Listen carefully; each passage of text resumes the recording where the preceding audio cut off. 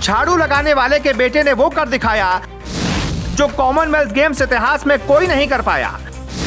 चोट के बावजूद हिम्मत नहीं हारी, हौसला नहीं गवाया। सीडब्ल्यूजी 2022 में भारत को दूसरा गोल्ड मेडल जिताया। 19 साल की उम्र में किया ऐसा काम, पूरा देश कर रहा है इस खिलाड़ी को सलाम। कहानी देश के नए golden boy Jeremy Lalrinnunga की।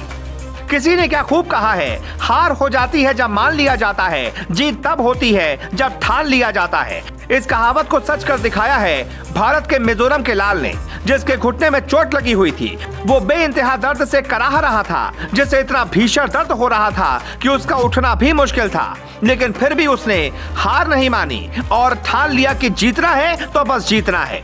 और जैसा कि आपने कहावत सुनकर समझ ही लिया होगा, जब ठान लिया जाता है तो जीत तो होनी ही थी। मिजोरम के एक झाड़ू लगाने वाले के बेटे ने दुनिया के सामने वो कर दिखाया, जो आज तक कोई नहीं कर पाया।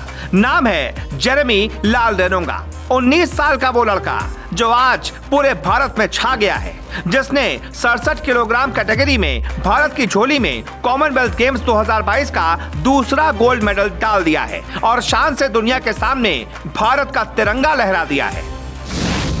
मीराबाई चानू के बाद जर्मी ने वेट लिफ्टिंग में भारत को गोल्ड मेडल जिताया है। जर्मी ने सड़सठ किलोग्राम भार वर्ग में कुल 300 किलोग्राम वज़न उठाकर ये इतिहास रचा है। जर्मी ने चोट के बावजूद भारत को गोल्ड मेडल कैसे जिताया, इसकी कहानी जानना भी ज़रूरी है। पहले तो स्नैच राउंड में उन्होंने पहली कोशिश में 136 किलोग्राम वज़न उठाया। दूसरी कोशिश में 140 किलोग्राम वज़न उठाकर उन्होंने बढ़त बना ली। दर्द से कराह रहे जर्मी तीसरे राउंड में 143 किलोग्राम वज़न नहीं उठा पाए, जिसकी वजह से गोल्ड की उम्मीदें धीमे धीमे चकनाचूर होती जा रही थीं। लेकिन जर्मी ने इसके बाद क्या कमाल की वापसी की? जर्मी ने क्लीन एंड जर्क राउंड में गेम को पूरी तरह से पलट कर रख दिया। जर्मी ने पहले राउंड में एक सौ चौवन किलोग्राम का भार उठाया, लेकिन वो परेशानी से जूझते दिखे। उनको चोट लग गई, लेकिन उसके बावजूद वो थमे नहीं और दूसरे राउंड में 160 किलोग्राम का भार उठाकर सभी को हैरान कर डाला।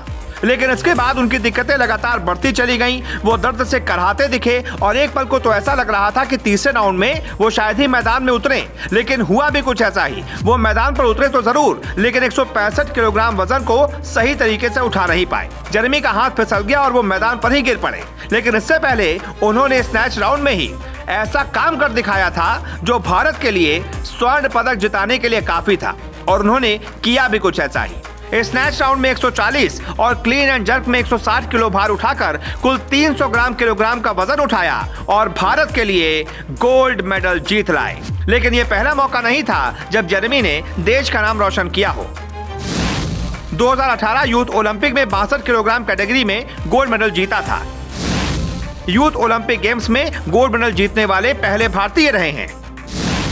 एशियन वेट लिफ्टिंग चैंपियनशिप में सिल्वर मेडल भी जर्मनी ने जीता था। पिता ने झाड़ू उठाकर निभाई थी परिवार की ज़िम्मेदारी। जेरेमी के पिता स्टेट और नेशनल लेवल पर बॉक्सिंग में मेडल जीत चुके हैं। हालात बेहतर न होने की वजह से लालनुंगा को पीडब्ल्यूडी के सड़क निर्माण में झाड़ू मारने की नौकरी करनी पड़ी थी। पिता की ये तपस्या काम आई, उनकी मेहनत रंग लाई और बेटे ने पूरी दुनिया में भारत का तिरंगा लहरा दिया और अपनी शान को और बढ़ा दिया।